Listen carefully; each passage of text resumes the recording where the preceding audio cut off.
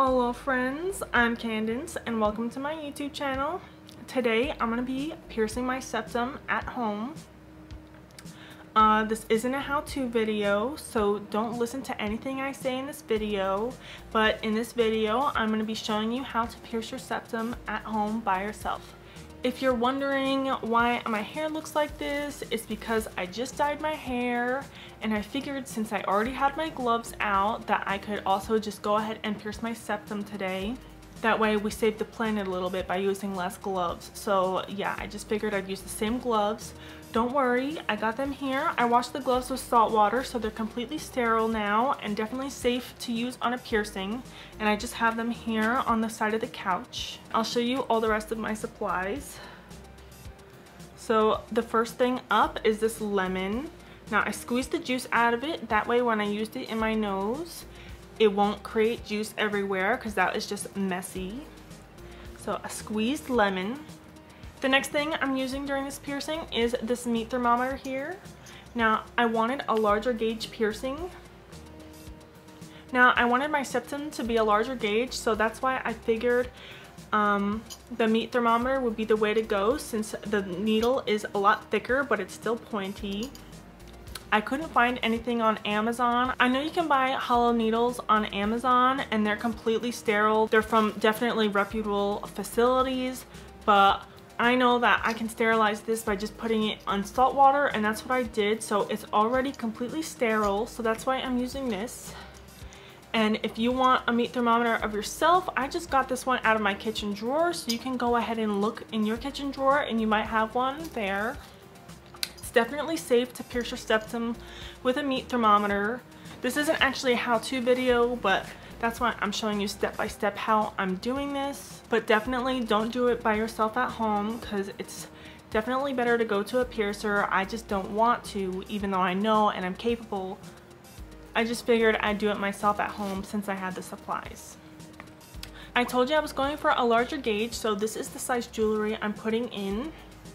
This is a 4 gauge circular barbell and actually it's internally threaded which is supposed to be better for your piercing. I just got this right from Amazon and basically I got it in the mail and I just put it straight into a cup of salt water and that is supposed to sterilize it so the salt water sterilized it overnight so it's completely safe and there's no bacteria on it at all. And don't worry, I washed my hands before I dyed my hair, so they're definitely clean because they've been inside those gloves for the past like hour as I was dyeing my hair.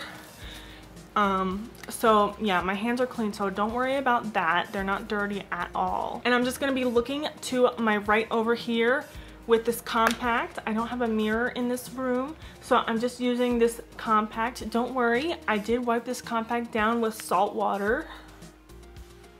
Um, so I'll just be using the mirror in this since now this mirror is sterile so I'll be able to move it however I want to. So I'm just going to have this over here on my table. The last thing I'm going to be using for this is this old Sharpie that I had from college. Now I used to use Sharpies a lot in college for coloring. So I'm just to use this ultra fine point Sharpie to help me mark my nose so I can make a really straight piercing. So I guess that's it and we're just to get on started. Marking it first.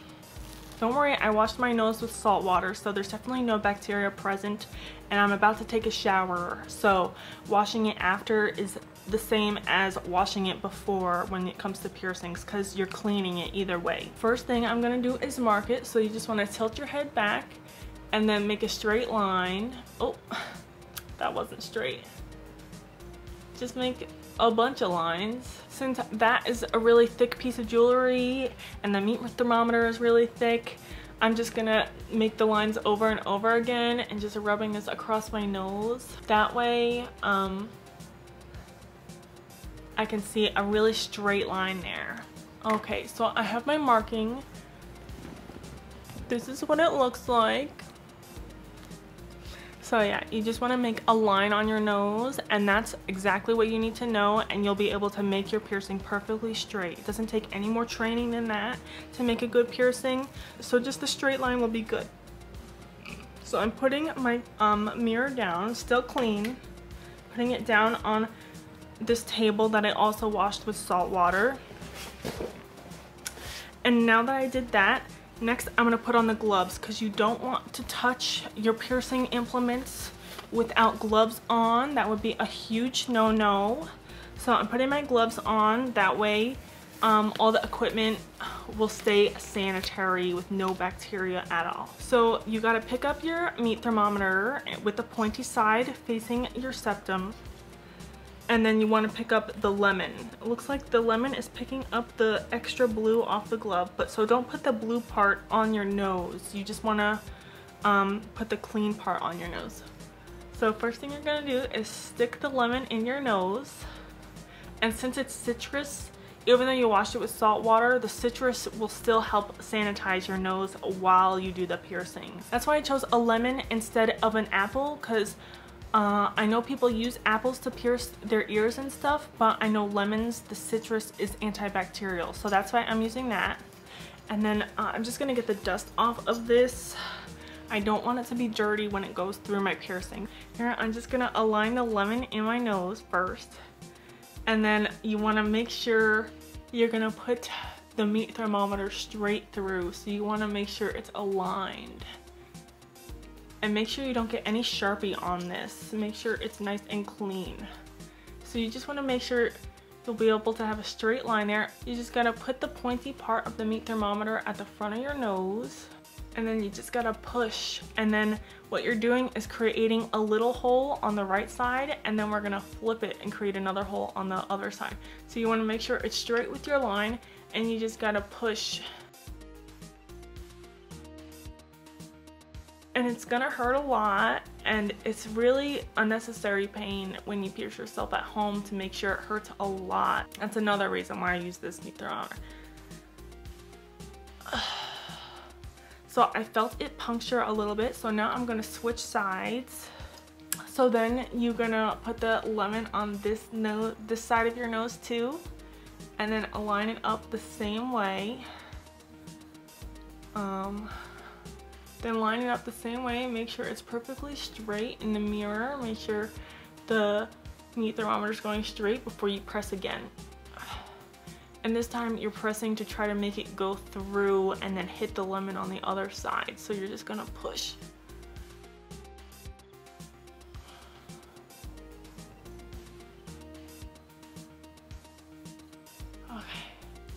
And see it just got caught by the lemon so it went safely through my nose and I didn't hit the inside of my other side of my nose. So I'm putting the lemon back and now I'm gonna, oh I should have opened this first. So now I have to like hold this, I guess I'll just hold it like this so it doesn't dangle. So you just untwist the ball because letting it hang kind of hurts because the meat thermometer is so heavy. So you're untwisting the ball and I'm just gonna put it down over here. And then I'm gonna align this and then try to get it through.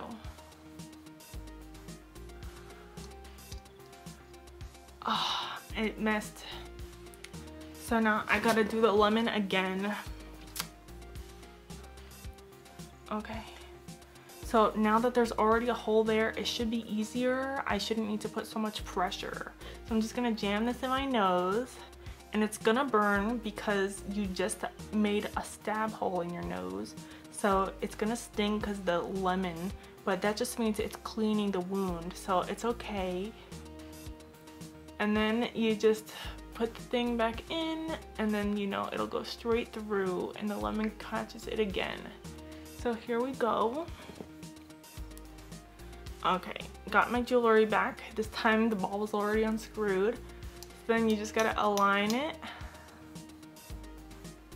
and then slide it through.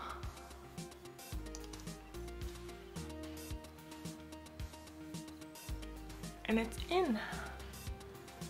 So you can see it is going straight through there. So now I gotta pick up this ball and screw this ball into the hole.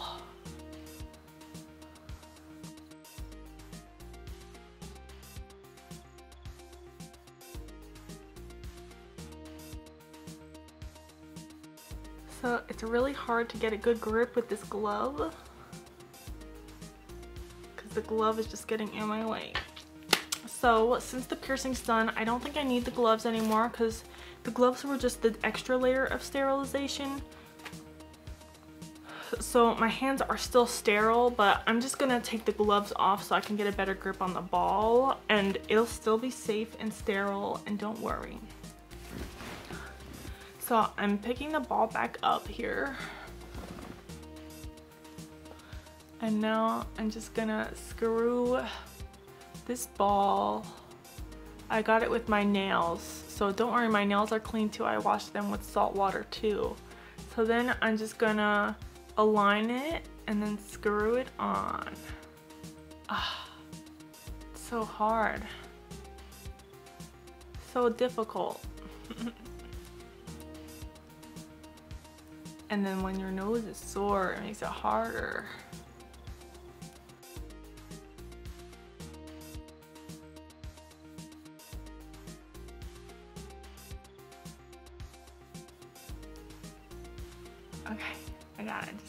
Finish screwing it on. Okay, and that's it. Here is the finished septum piercing. Let me know, what do you guys think? Do you like septum piercings? What gauge is your septum piercing? How did you pierce your septum? Did you go to a piercer? Did you pierce it yourself with a meat thermometer? Uh, I definitely recommend the meat thermometer, even though this isn't a how-to how-to video. This is just uh, my experience to show you how to pierce your septum at home, but definitely don't do it yourself at home because it's not really that safe. Let me know what you think. Please go down below, like and subscribe. Please comment. Uh, tell me anything. Do you have any questions about any of my other piercings? And let's be honest, do you have any questions about how I actually got my septum to a 4 gauge? Because this wasn't a real piercing video. If you're surprised, comment down below, leave a like. I think I made it pretty obvious, but I don't know. But I really am dyeing my hair. I just thought it would be a funny character. Anyway, please go like, subscribe, uh, watch my other piercing content. I just started my channel, so there's bound to be many more. Comment down below any more ideas you have. Uh, you can find me on Instagram at Candence L. You can find me on my art Instagram at Chromatic Sauce and my art YouTube channel at Chromatic Sauce, all linked in the description. Thank you guys so much for watching. I love you. See you in the next one. Bye. Uh, I was really hoping the lipstick would smear more and it would look a lot more like lipstick all over my piercings and stuff. Like that. And then it would, it would be more triggering to get the lipstick in my piercing. That's okay.